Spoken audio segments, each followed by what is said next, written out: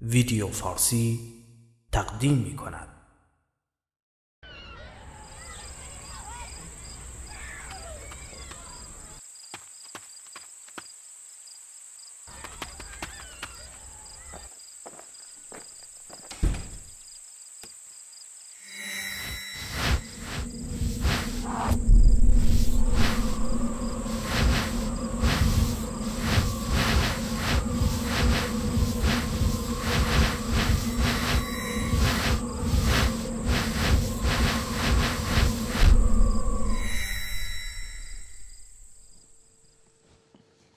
الله الرحمن الرحیم. سلام. سلام بر همه شما عزیزان من بینندگان محترم شبکه جهانی نور. امیدوارم حال همگی شما خوب باشه و آماده باشین تا همراه ما قسمت دیگری از سری برنامه های گفتگوی خانواده رو همراه باشید. کارشناس محترم برنامه اینجا حضور دارن. آقای ناطق پور سلام و درود بر شما. بسم الله الرحمن الرحیم. خدمت جنابالی و عزیزان بیننده و هموطنان بزرگوار در هر کجای این کره خاکی که هستن سلام عرض می و امیدوارم همیشه موفق و سربلند باشن در خدمتتون هست متشکرم. آقای دکتر اگه خاطرتون باشه جلسات گذشته ما شروع کردیم در مورد تعادل شخصیت روی تعارضات شخصیتی صحبت کردیم و بعد برای اینکه یک شخصیت مثبت بخواد خلق بشه صحبت کردیم. شما توی بحثات در مورد خلاقیت صحبت کردید. می‌خواین برای اینکه خاطره صحبت گذشته برای بینندگان نوعی زنده بشه تجدید بشه. یه مقداری برای ما یه توضیح بدین در مورد این خلاقیت که چی هست این خلاقیت ها من بعدا سال دیگر رو مطرح کنم خدمت من ابتدا اگر اجازه بدید یک شمای کلی در یک دو دقیقه از بحث و برنامه هامون ارائه کنم تا جایگاه بحث خلاقیت هم در مجموع بحث ها روشن بشه. خانواده های عزیزی که از روز اول این برنامه دارن پیگیری می‌کنن شاید بیشتر در جریان موضوع باشن. ولی این رو بیشتر برای خانواده که اخیرا به جمع پیوستن درز می‌کنم. مجموعه بحث خانواده سلسله گفتگوهای خانواده در واقع با این هدف شکل گرفته و ادامه پیدا می‌کنه که بتوانیم یک خانواده ای در واقع پربار و مفید که فارغ از دغدغه ها و آماده به حل مشکلات و مسلط به روش های حل مسئله داشته باشیم که بتونیم از مجموعه خانواده اون بهرهای واقعی معنوی و اجتماعی روانی رو بتونیم ببریم. در واقع نگرش ما به خانواده بر اساس آیه قرآن هست که خانواده رو محل امن و آرامش می‌داند. پس ما اگر بحث هایی می‌کنیم در واقع با در این بحث همون در جهت کنکاش و بررسی و جستجو در مسیری هستیم که علل و عواملی که باعث می شود که خانواده کارکرد اصلی خودش رو که محل امن و آرامش هست و تربیت فرزندان سالم و صالح و معتدل و متعادل رو در واقع جزء کارکرده اصلیش داره و فرایند اجتماعی شدن بچه ها رو به عهده داره یا به دارد یک نهادی است که نهاد اولیه‌ای که یک تولید نیروی انسانی می‌کنه با وضعیت مطلوب و مناسب تا بتونه تو جامعه موفق باشه. در واقع به دنبال یافتن علل و عواملی هستیم که این کارکردها رو تحت شعا قرار میده از بین می‌بره و روش هایی که بتونیم این کارکردها رو دوباره احیا کنیم برگردونیم. بحث های ما عموما در این زمینه است و و همین دلیل ناگزیر هستیم که خانواده را از چند وجه نگاه کنیم. یک بعد افراد خانواده است اشخاص خانواده یا اعضای خانواده.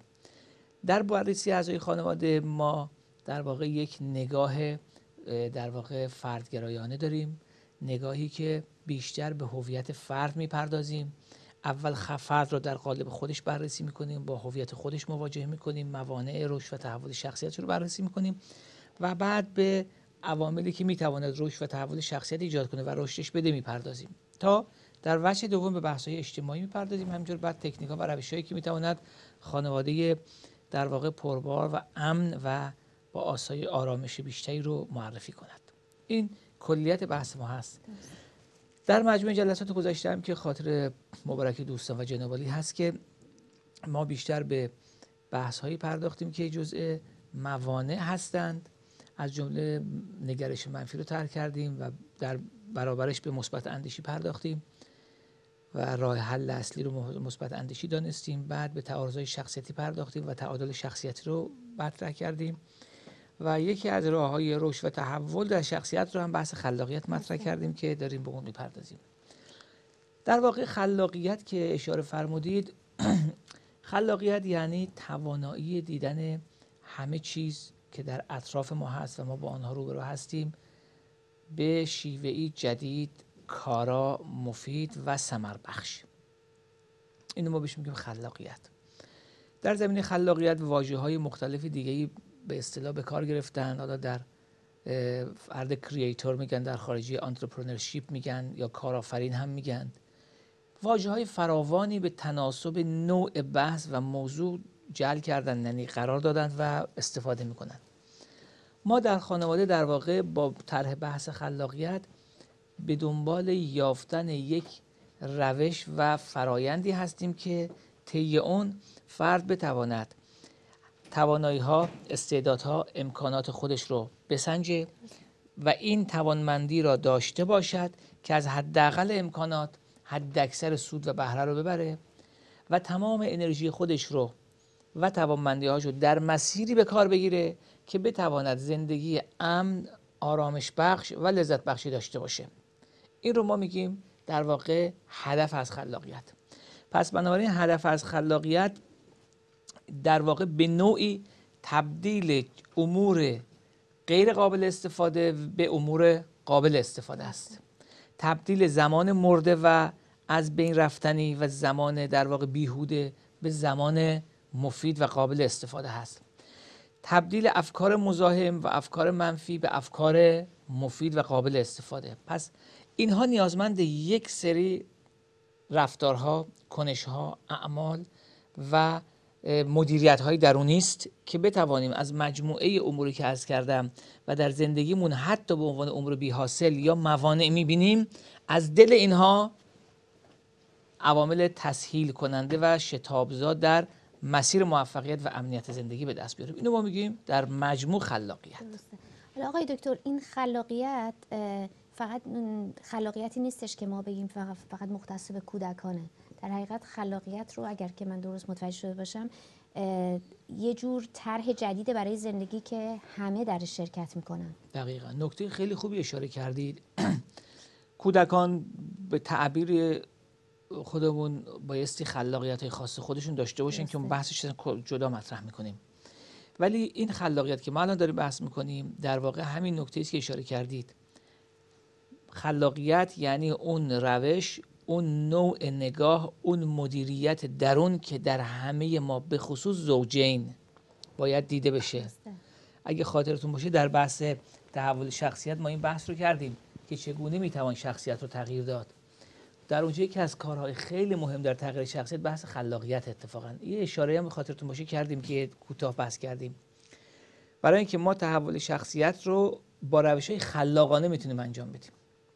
خلاقیت بیش از اینکه یک جریان و امر بیرونی باشه یک مجموعه و تحول درونی ذهنی است. برای مثال شما ببینید کودکی که لوازم بازی جلوش گذاشتند چندین بار به بنبست می‌خوره. نمی‌تونه این لوازم رو با همدیگه هماهنگ کنه. می‌بینید یه دفعه راه هایی پیدا می‌کنه که از طریق این راه های اینا رو به هم منطبق می‌کنه.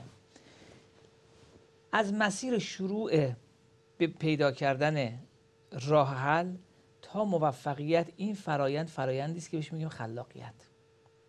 اما یه نکته است من اینجا می‌خوام تاکید کنم. خلاقیت در حد فراوانی در موارد زیادی محصول شکست هم هستا قابل توجه اونه که شکست می‌خورند و میرن میشنن کنار. میگن دیگه تموم شد. مثالی زدیم از ما که گذشته. اتفاقا خلاقیت تو همه مراحل زندگی باید وجود داشته باشه. کسی که با بنبست مواجه میشه تازه خلاقیتش بده شکوفا بشه. کسی که در استخر افتاده و باید خودش رو نجات بده خلاقیتش تجلی پیدا می‌کنه. پس خلاقیت عملا محصول بنبست می‌تونه باشه. به عبارت دیگر کسی که به بنبست می‌رسد وقتی که روحی خلاق شکوفا میشه داره بیان می‌کنه که بنبستی وجود ندارد. خیلی از ماها وقتی به بنبست می‌رسیم آخر کار تلقی می‌کنیم. میستیم منتظر میشیم دیگران به ما کمک کنن. درسته. در واقع ما وقتی به بنبست رسیدیم بایستی بنبستی رو در جلومون دیگه نبینیم. چرا؟ راه حل باید پیدا کنیم. و به همین دلیل ما معتقد هستیم که خلاقیت یکی از لازمه های حل مسئله است روش حل مسئله. چون اساسا حل مسئله نیاز به خلاقیت داره. درسته. آقای دکتر مثل یه دانش آموزی میمونه که توی کنکور شرکت می‌کنه. اتفاقاتی که برای خود من افتاد در دوره جوانی. در کنکور شرکت می‌کردیم. بعد اتفاقا مثلا سال اولی که کنکور رو می‌دادیم به خاطر که مشکلات نمی‌دونم گرفتن دیپلم و اینا بود ممکن بود رتبه خیلی خوبی هم نیاریم. بعد رد می‌شدیم از کنکور. بعد اون وقت در برای سال آینده هم وقت بهتری بود. من خیلی از خودم و خیلی از دوستانم این اتفاق براشون افتاد. چون اشتباهاتمون رو فهمیده بودیم و این انگار این شکسته باعث شده بود که بهتر کار بکنیم بهتر تلاش بکنیم و تو رتبه یعنی رتبه خیلی بهتری آوردیم و رشته های بهتری هم دقیقا قبول دقیقا. نکته خیلی خوب رو اشاره کردید. یعنی شما در این وضعی که فرمودید شکست رو تحلیل می کردید درسته. خیلی خیلی خوبه. بعضی ها شکست رو یک زایعه می‌دونند. یک نقطه منفی در زندگیشون می‌دونند و یک امری می‌دونن که در واقع همیشه بهشون لطمه می‌زنه. همیشه هم باشون هست با این تصور. شما با این نگاهتون شکست رو یک مقدمه برای پیروزی بزرگتری می‌دونید. این میشه خلاقیت. یعنی شما میفرمایید ما طبیعی است برای اینکه معدل بالاتر بیاریم از کنکور یه خود غافل میشیم. چون نمی‌تونیم هر دو رو با هم هماهنگ کنیم ولی معدل بالا رو مهم می‌دونیم. به محض اینکه در کنکور فرد شکست می‌خوره این شکست رو یک گام به جلو می‌دونه. به همین دلیل خیلی وقتا شکست ها گام به جلو هستن. به عنوان مثال دانش آموزی که ریاضی حل می‌کنه ولی ریاضی رو غلط حل می‌کنه. چون غلط حل می‌کنه به تعبیر ما یه نوعی شکست تلقی میشه دیگه. درسته. خب این همش گاهی اوقات بعضی دانشمند ناراحت میشن چرا غلط حل کردن و دوستشون درست حل کرد. در حالی که این دانش آموز باید بدونه وقتی غلط حل کرد معلم بهش یاد داد این دفعه با ذهنیت دقیق متوجه شد اشتباهش کجا بود. این یک گام به جلوست. چرا؟ برای دیگه اون تکرار نمیشه. دقیقا. کسانی که از شکست میگریزند همیشه خودشونو در حصار در واقع شکست های بعدی قرار میدند کسی که از یه شکست میگریزه در واقع شکست های بیشتری در انتظارشه. کسی که به قول فرانسوی همیشه به امید شانس هست سالها قبل مرده. هیچ وقت انسان به امید شانس و این چیزها در واقع جمله نمی‌تونه. بله معتقد هستن کسی که به امید شانس نشسته باشد سالها پیش مرده است. خلاقیت شانس توش نیست. خلاقیت واقعیت توشه. خلاقیت با ذهنیت های به بالا ابری و این ذهنیت های تخیلی و اینا نمیچرخه. خلاقیت در واقع تمام امکانات رو به کار می‌گیره بین اینا رابطه برقرار می‌کنه و نتیجه می‌گیره. به عبارت دیگه اولا سوال رو خوب می‌فهمه کسی که خلاق هست. اشکال و ایراد دلایل شکست رو خوب پیدا می‌کنه. امکانات رو خوب کشف می‌کنه. امکانات فقط امکانات مادی نیست. امکانات روانی امکانات ذهنی امکانات تحولات. همه شخصیتی اینا رو کنار هم می‌گذاره. وقت از جزء دارایی های سرمایه های انسان امکاناتشه پتانسیل خودش رو خوب می‌دونه. ظرفیت و توانایی خودش رو می‌دونه. اینها رو جمع می‌کنه در کنار هم و از همین و مهمتر که خیلی دلم می‌خواد اه، عزیزان بزرگوار بهش توجه کنن رابطه بین اینو برقرار می‌کنه. برقراری رابطه بین امکانات و سرمایه ها خیلی مهمه. خیلی ها سرمایه دارن امکانات هم دارن ولی نمی‌دونن چطوری ازش استفاده کنن. چون رابطه بین اینا برقرار نمی‌کنن. به عنوان مثال وقت یه سرمایه است. سلامتی یک سرمایه است. عرض شود که حالا امکانات مالی باشه یک سرمایه است. حتی امکانات خویشاوندان و دوستان و راهنماها اینا یک سرمایه است. آمادگی روحی سرمایه است. تمام اینها رو ببینید ما فرد داره. نمی‌دونه چطوری بین از اینا استفاده کنه. این کلمه که میگیم چطوری نمی‌تونه استفاده کنه؟ اینو ما بیاریم تو تحلیل علمی خودمون تو تحلیل جامعه شناسی و روانشناسی اجتماعی یعنی نمی‌دونه چطوری بین اینا رابطه برقرار کنه. رابطه بین وقت و پول رابطه بین وقت و سلامتی رابطه بین سلامتی و راهنمایی. اینا همشون یک شبکه میشند که این شبکه مهمترین بحثش رابطه بینشون برقرار کردنه. آدمی که خلاقیت داره میدانه به این مسیر میره که چگونه بین اینها بایستی ارتباط برقرار کنه. اگه ارتباط برقرار کنه وقتی اصلا یه کاشف میشه. درسته. چطوری اختراع می‌کنن؟ آدمایی که اختراع می‌کنن آدمای خلاقی آدمایی که یه مثلا بیزینسمن یا به قول ماهای تاجر یا بازرگان یه دفعه رشد مالی می‌کنه. چطور؟ برای اینکه این میاد راه های برقراری ارتباط بین سرمایه و امکانات مثل مشتری. درسته. اینا رو برقرار می‌کنه. من حالا کسانی که سالم رشد می‌کنن و عرض می‌کنم. که اینا خلاقیت هست. بنابراین خل... یک این جمله رو خدمت عرض کنم. خلاقیت با این توصیفاتی که ما کردیم ثمره مثبت اندیشیه. باز هم برمیگردیم به مثبت اندیشی. واقعاً چقدر این نکته مهمه واقعا؟ یعنی کسانی که مثبت اندیش نیستند اینا همیشه خودشونو مجازات می‌کنند. یکی دو مورد پرسش های خانوادگی بود خوندید که دائما داره خودش سرزنش می‌کنه. درسته. آدمی که مثبت اندیش نیست امکاناتش رو سرمایهش رو همه انواع سرمایه هایی که گفتیم معنوی مادی همه اینا رو در مسیر خودزنی نابودی خود به کار می‌گیره. آدمی که مثبت اندیش هست تمام شکست ها رو چجوری می‌بینه؟ میگه شکست ها اموری بودن که اتفاق افتادند. یا من درشون دخالت داشتم یا من دخالت نداشتم. اگر من دخالت داشتم باید در خودم تحول ایجاد کنم. برای اینکه این مسیر منو به سر انجام نمیرسونه به سر منزل مقصود نمیرسونه. اگه من دخالت نداشتم پس باید ببینم عواملی که خارج از اراده من موجب شده بودند عوامل اجتماعی عوامل فرهنگی عوامل خانوادگی هر چی. اینا چی کشفشون کنم که بتونم اونها رو تبدیل به امور مثبت کنم. خود این یعنی قدم به جلو. درسته. یعنی موفق یعنی رشد. این آدما هیچ وقت خسته نمیشن. هیچ وقت به بنبست نمی‌رسن. من یه بار به طور دیگری عرض کردم الانم مستقیما عرض می‌کنم بنبست ها محصول بنبست درون ما هستند. ممکنه بگن آقا بیرون بله مثلا فرض کنید که منی که دیپلم دارم نمی‌تونم استخدام شم. این بنبست در بیرونه. در بیرون مانع هست. اما منم زود به بنبست نباید برسم. خیلی خوب من استخدام نمیشم ولی می‌تونم یه نقاش خیلی خوبی باشم. یه طراح خیلی خوبی باشم. یه موزیسین خیلی خوبی می‌تونم باشم. من می‌تونم بنشینم یه فرض مکانیک خوبی بشم. من می‌تونم رشد کنم. آدمایی که با بنبست های بیرون به بنبست می‌رسن اینا منفی اندیشند.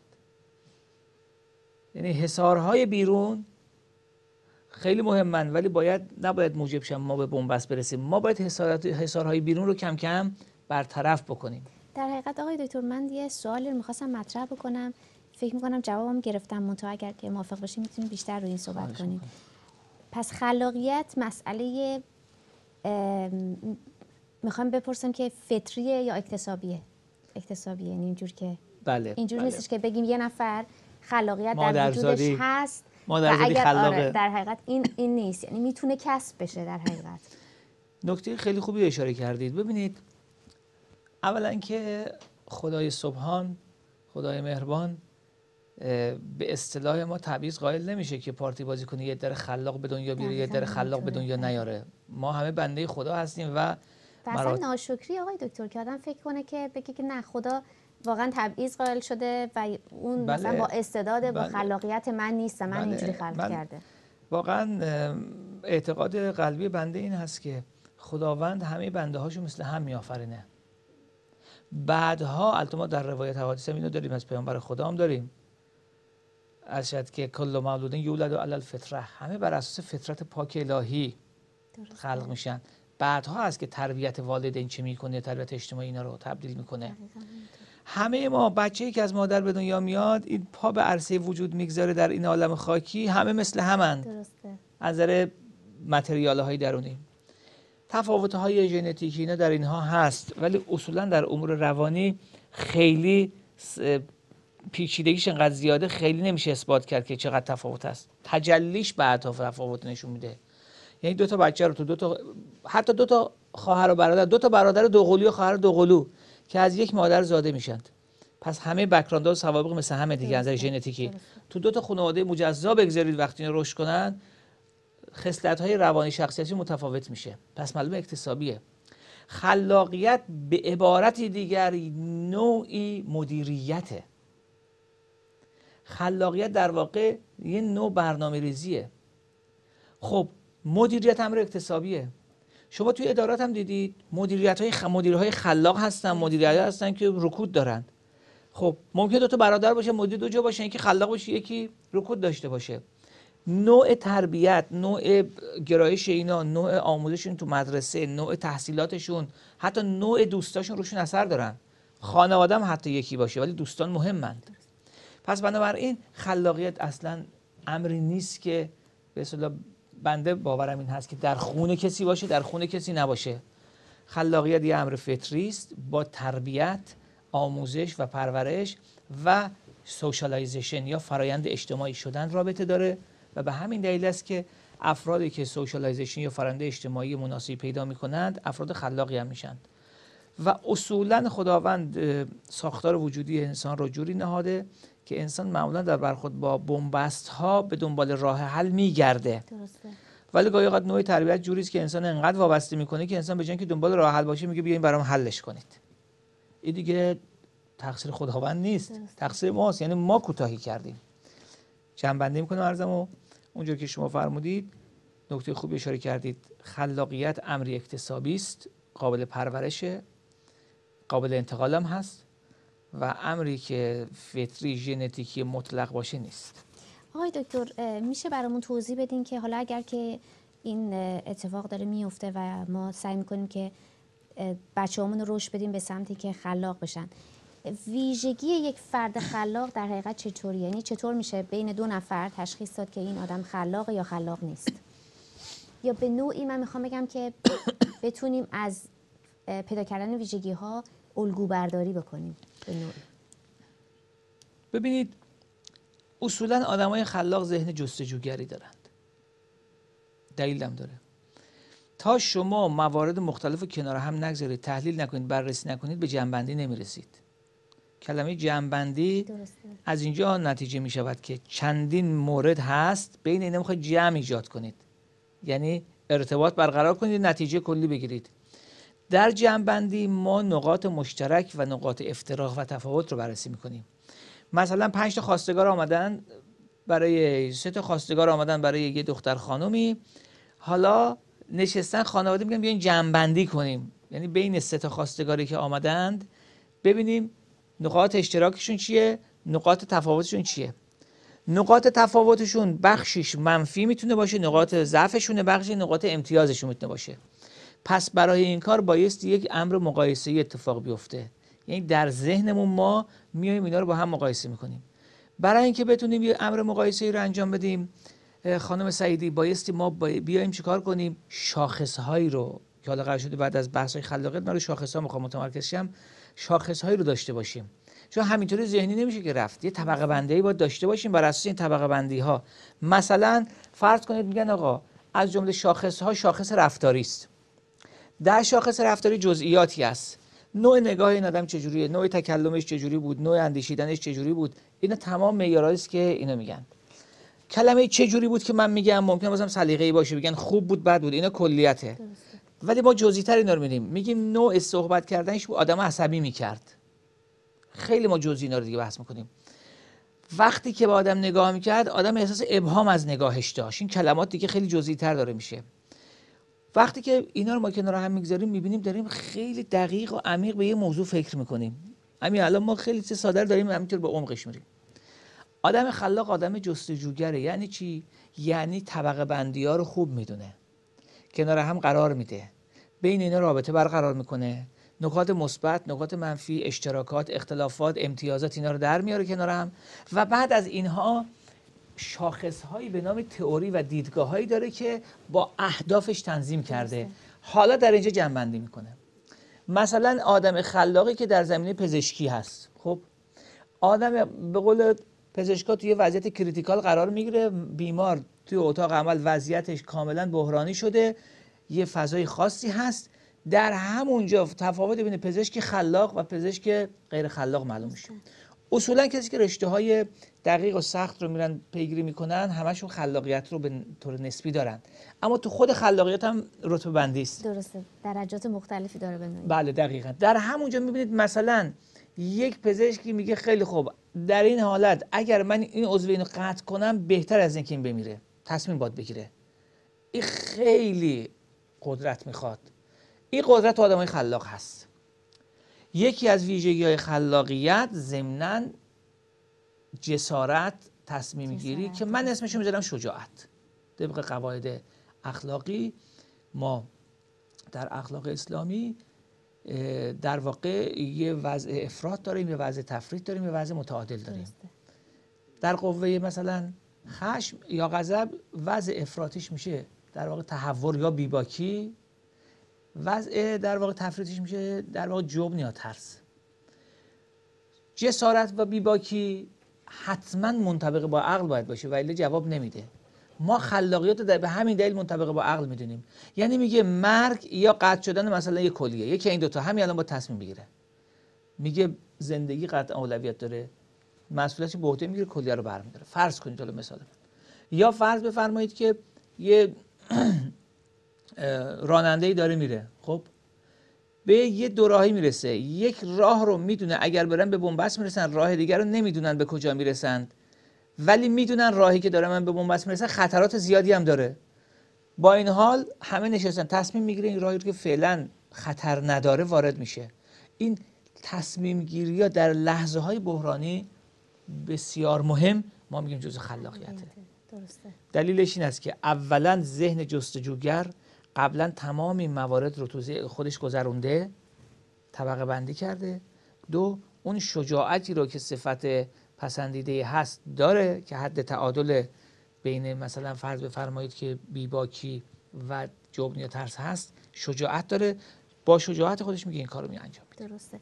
آقای دکتر چون فکر نمی‌کنم فرصت داشته باشیم که بخوایم سوالی رو مطرح بکنیم یعنی سوال خوانندگان بینندگان ببخشید مطرح بکنیم. اگر موافق باشید یک جنبندی روی بحث خلاقیت برای ما داشته باشید. پس من اگه اجازه فرمایید توی دو سه دقیقه‌ای که شاید بیشترم نمونده باشه با این نکته که فرمودید چند تا ویژگی دیگه هم از فرد خلاق و کنار هم فقط فهرست بار بگم بعدا. می‌تونیم روش بله. فرد خلاق حتما صبور و پایداره این یکی از ویژگی‌هاشه بعد لازم شد با مورداش توضیح میدم. یکی از ویژگی های برجسته فرد خلاق امیدواری و اعتماد به نفسه. امیدوار و مطمئن میره جلو. درست؟ نکته دیگه این است که به شدت زمان براش مهمه سرمایه گذاری وقت خیلی براش مهمه. حتی لحظه ها براش خیلی مهمن. فرد خلاق حتما آینده نگر هست ولی در آینده زندگی نمی‌کنه ولی آینده رو مهم می‌دونه. درسته. این حال تفاوتش من بعدا میگم. و این نکته مهم دیگر فرد خلاق اهل تساهل و تسامحه. این خیلی مهمه. اهل مدارا و گذشته. چرا؟ برای اینکه می‌دونه برای رسیدن به هدف خیلی چیزا مطابق میلش نیستند. درسته. بایست آرامش داشته باشه امیدوار باشه مدارا کنه مسیر رو جوری تنظیم کنه که بتونه بره. فرد خلاق کسی است که تفاوت بین ز... دوره های زمانی تاریخی و اجتماعی و شرایط جغرافی رو خوب بدونه. کسانی که تفاوت رو ندونند لذا یک کلام می‌تونم بگم خدمتتون. کسی که خلاق هست کسی است که مدیریت فردی و زندگیشو خوب می‌تونه تنظیم کنه. آدمایی که تو مدیریت شخصیشون و مدیریت زندگیشون دچار به اصطلاح مشکل میشن ضریب خلاقیتشون یا پایینه یا خلاقیتشون شکوفا نمی‌کنند. ضریب خلاقیت پایین است نه اینکه مادرزادی پایین است. یعنی که به کار نگرفته. شکوفا نکرده رشد نداده.